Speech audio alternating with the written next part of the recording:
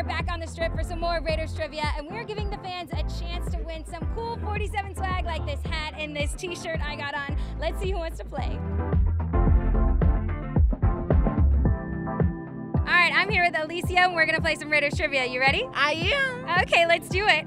Question number one What street is Allegiant Stadium on? A. Las Vegas Boulevard, B. Al Davis Way, or C. Tropicana? Al Davis Way? Yes, that is correct. Al Davis Way, B. There. B. Al Davis Way. Yes, there we go. I'm gonna go with B. B is correct. Question number two. Who was the Raiders' first round draft choice in 2023? A. Michael Mayer, B. Tyree Wilson, or C. Nate Hobbs? B, B, B. There we go. She got it right. I'm gonna go A. It is actually B. Tyree Wilson. Uh. B. Tyree. There we go.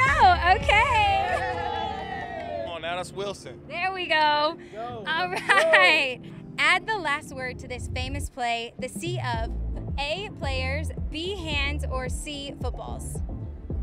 I'm gonna go with B. Yes, the Sea of hands. Congratulations. You're going home with some 47 swag. Thanks for playing. Oh, it's hands. There we go. Congratulations, Art. You are going home with a new hat from 47. B. Ham. Yes, it is the Sea of hands. Congratulations. 47. Thanks for playing. Hands. B. B. Yes, it is the Sea of hands. Congratulations. Here you go. Both of you are getting hats from 47. Congratulations.